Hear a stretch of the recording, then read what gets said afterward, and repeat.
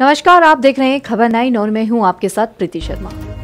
शासन के निर्देश पर शुरू हुए संपूर्ण समाधान दिवस के अंतर्गत ज़िले की पाँचों तहसीलों पर संपूर्ण समाधान दिवस आयोजित हुआ।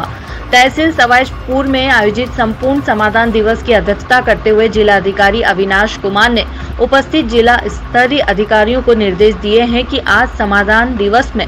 प्राप्त शिकायतों का निस्तारण एक सप्ताह में करना सुनिश्चित करें। समाधान दिवस में ग्रामीण क्षेत्रों में गरीबों के पट्टे की भूमि पर अवैध कब्जों की शिकायतों पर नाराज़गी व्यक्त करते हुए जिलाधिकारी ने राजस्व एवं पुलिस विभाग के अधिकारियों को निर्देश दिए हैं कि पट्टे की भूमि पर अवैध कब्जा करने वाले भूमाफियाओं के खिलाफ एफआईआर दर्ज कराते हुए सख्त कार्रवाई करें और गरीबों के पट्टे की भूमि को तत्काल कब्जा मुक्त कराए। विद्युत विभाग की शिकायतों के संबंध में जिलाधिकारी ने विद्युत विभाग के अधिकारियों को निर्देशित किया है कि खराब ट्रांसफार्मर को तीन दिन में बदलाएँ और नगरी एवं ग्रामीण क्षेत्रों में रोस्टर के अनुसार विद्युत आपूर्ति कराएँ तथा लापरवाही करने वाले विद्युत कर्मचारियों को कड़ी कार्रवाई करें और वृद्ध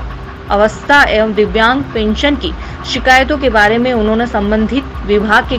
अधिकारियों को निर्देशित किया है कि जिन पेंशनरों की पेंशन किसी कारण बंद हो गई है, पुलिस विभाग की शिकायतों के संबंध में पुलिस अधीक्षक अजय कुमार ने पुलिस विभाग के अधिकारियों को निर्देशित दिए हैं कि ग्रामीण क्षेत्रों में गरीब, असहाय लोगों को परेशान करने एवं उनकी भूमि पर अवैध कब्जा करने वाले अपराधियों पर भूमाफिया एक्ट के अंतर्गत कड़ी कार्रवाई करते हुए जेल भेजे।